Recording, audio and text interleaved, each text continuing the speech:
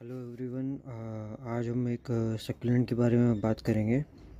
इसका नाम है ऑर्बिया कॉम्यूटाटा तो ये सक्लेंट में लास्ट थ्री प्लस इयर्स हो गए मेरे पास इसको एंड मैं इसका एक छोटा सा इतना सा पीस लाया था लाइक like, इतना ही था।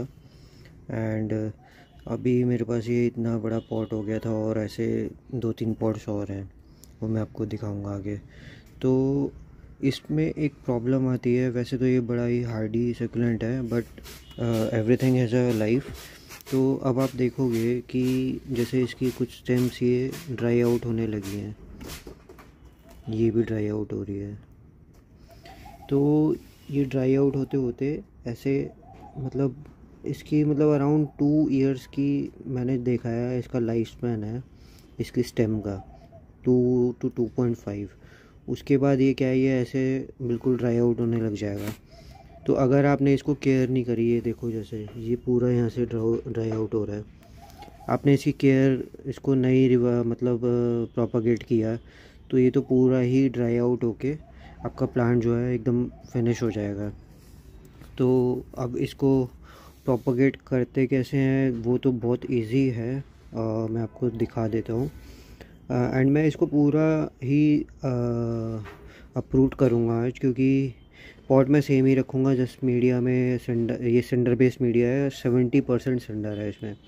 रेस्ट आप जो भी आपको वर्मी कंपोस्ट ऐड करना है जो भी आपको ऐड करना है, वो आपकी चॉइस है। बट सेवेंटी परसेंट इसको सर्कुलेंट में आप कोशिश करो कि आप ज़्यादा ही सेंडर ऐड करो फॉर द पोरोसिटी बिकॉज़ ये अगर ज़्यादा ही मॉइस्चर में रहेगा तो फिर प्लांट डेड हो जाएगा, वरना सक्लेंट्स और मैं दिल्ली में रहता हूँ तो आपको पता है यहाँ का टेम्परेचर दिल्ली वालों में कितना ज़्यादा वो हो जाता है। अब जैसे ये स्टेम है, ये भी आपने इसमें ड्राई पार्ट ये तोड़ देना है, ये अलग करना है, और ये ऐसे इसको अलग यहाँ पे कलेक्ट करते जाना है। जो ये बिल्कुल ही ख़त्म टाइप हो रखी हैं, इनका तो कुछ नहीं कर सकते जस्ट थ्रो देम बट आप इस प्लांट को बहुत अच्छे से सेव कर सकते हो कैसे? जैसे अब आप ये वाली स्टेम देखो। ये आपने पकड़ना है और जस्ट ट्विस्ट करना है। ये ट्विस्ट किया और ये बाहर। अब ये देखोगे अगर ये देखो, इस पे ये ये जो रूट्स आ रही हैं, ये आपने बस इसको सिलेंडर में लगा के छोड़ देना और वन वीक बाद टू टेन डेज़ ये अपने आप ही रूटिंग करना शुरू कर देगा। इनफैक्ट मैं आपको दिखा भी देता हूँ। अभी इसको नहीं भी लगाया हुआ है तो भी ये रूट्स निकालना शुरू कर देता है। हम्म, दिखाता हूँ मैं।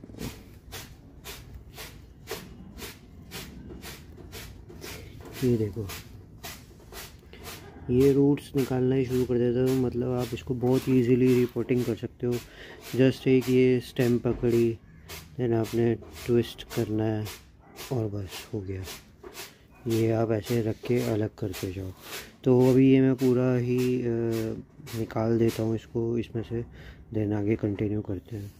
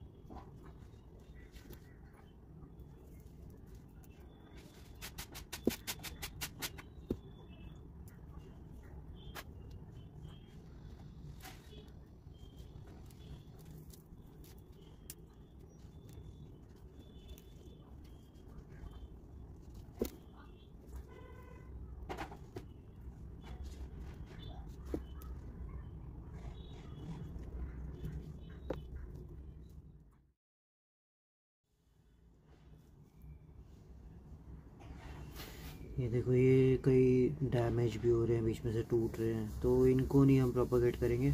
अब इसकी ये वाली स्टेम ले लेंगे,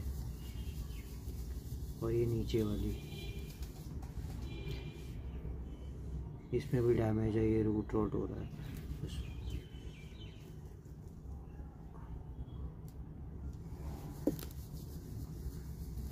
अब ये देखो, ये बेस ही अगर पूरा ड्राइड आउट है इसको लगाने का कोई फ़ायदा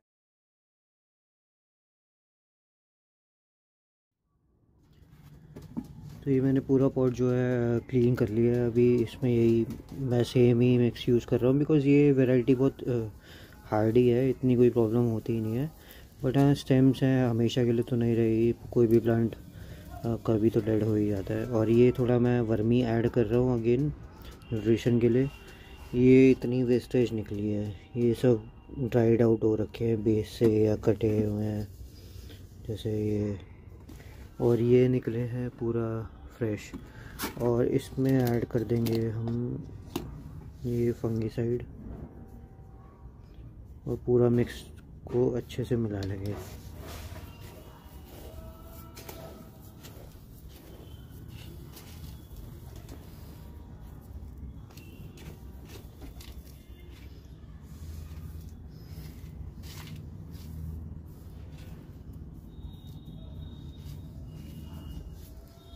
देखो, इनको लगाने का तरीका बहुत ही इजी है, बहुत इजी जस्ट आपने ऐसे डिग होल करना है, किसी भी चीज़ से आप इससे कर लो।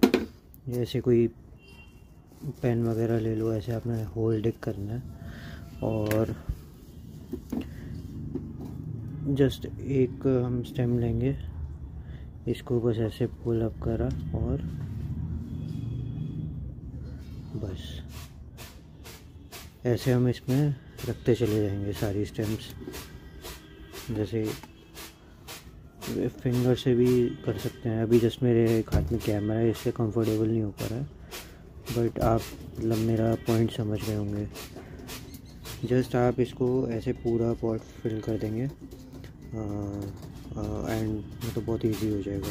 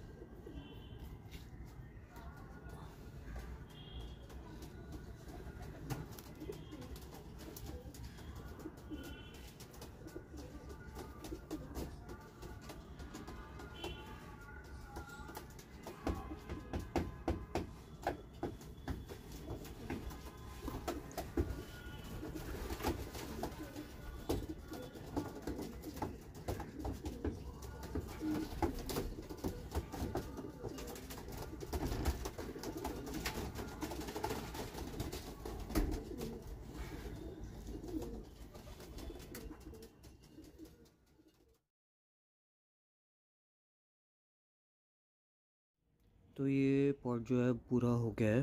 आ, और बट अभी भी ये काफ़ी कटिंग्स बच गई हैं तो इनको किसी और पॉट में लगा देंगे। बट अब आपने करना क्या है कि जस्ट ये लगाने के बाद इसको बस एक हल्का सा ऐसे वाटरिंग करनी है बिल्कुल इतनी सी। और आपने इसको वन वीक एटलीस्ट एक इनडायरेक्ट सनलाइट वाली प्लेस में रख देना है। एंड देन ये अपने आप ही ग्रो होने लगेंगे अच्छे से। तो अभी मैं आपको जो मैंने पहले रिपोर्टिंग्स करी हुई हैं, उनका मैं ज़रा आपको दिखा देता हूँ प्लान कि आपको कैसा मिलेगा।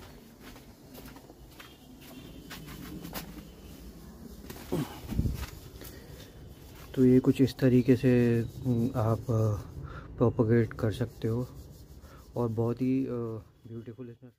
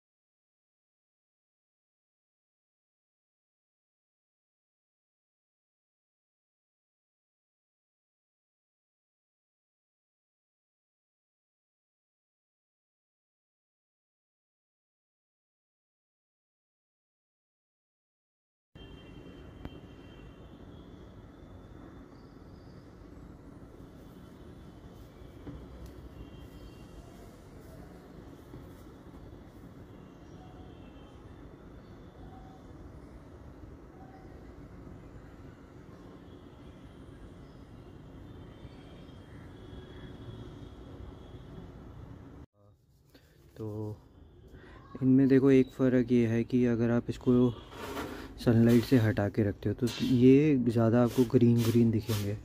बट ये क्योंकि मैंने अभी जस्ट ट्रांसफ़र करी है सनलाइट में, और ये काफ़ी टाइम से देखो सनलाइट में पड़े हुए हैं तो इनकी वेरिएशन देखो आप पर्पल कलर की। इसी फ्लावर ये जो आपको कलर दिख रहा है ना, ये पर्पल इनकी स्टेम्स पर। इसी कलर का फ्लावर आता है इस पर। तो आप इसको